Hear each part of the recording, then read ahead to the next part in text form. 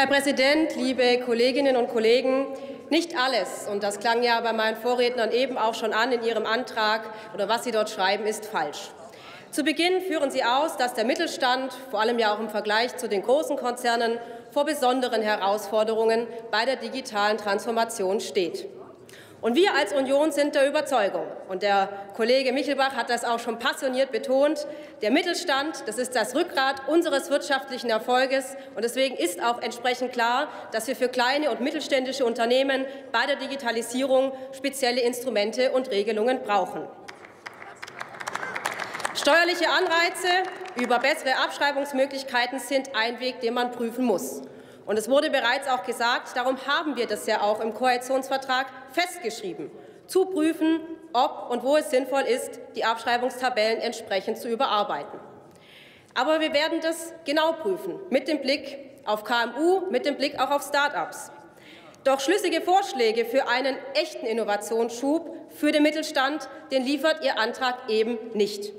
Und das haben Sie scheinbar ja auch selbst bemerkt und darum den Titel des Antrags auch kurzerhand geändert. Fest steht, Ihr Antrag geht an vielen Lebenswirklichkeiten vorbei. Wir haben es gehört, viele Unternehmen setzen inzwischen auf das Leasing von Softwareprogrammen. Die Anschaffung von Smartphones ist heute ja wohl ein grundsätzlicher Standard und die Abschreibung deshalb auch kein Meilenstein für Innovationen. Frau Kemmer, gestatten Sie eine Zwischenfrage?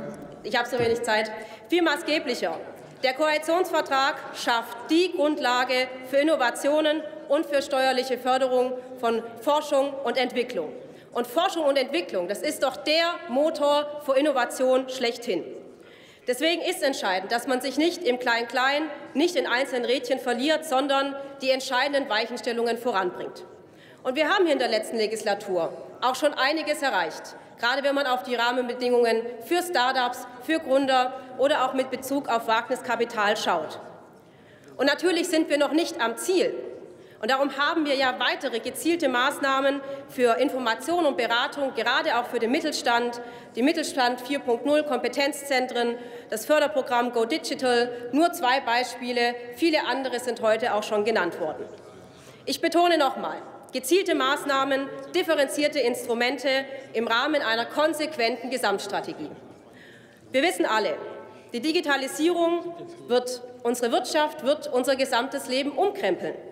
Wer nicht digitalisiert, verliert.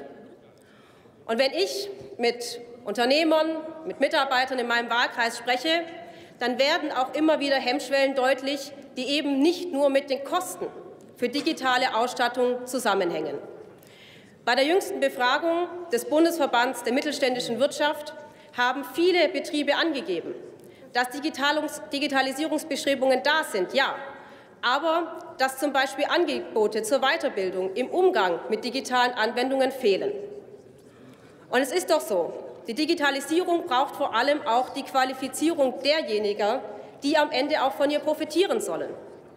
Was nutzt die beste Ausstattung in Betrieben, wenn der digitale Unternehmergeist nicht ausgeprägt ist, wenn digitale Kenntnisse und Fähigkeiten schlichtweg fehlen, wenn Sicherheitsrisiken scheinbar überwiegen. Digitalisierung geht in den Köpfen los. An den Schulen, in den Ausbildungsstätten, an den Hochschulen, in der Arbeitswelt, in der Weiterbildung.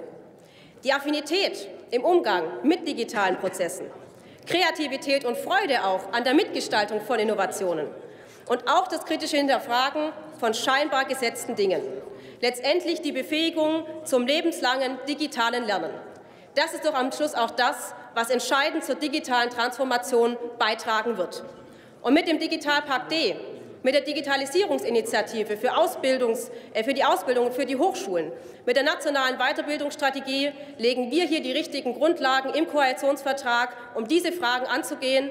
Wir müssen die Herausforderungen, vor denen wir stehen, zusammenhängend begreifen. Wir tun das als Union, und wir tun das mit den entsprechend richtigen Maßnahmen.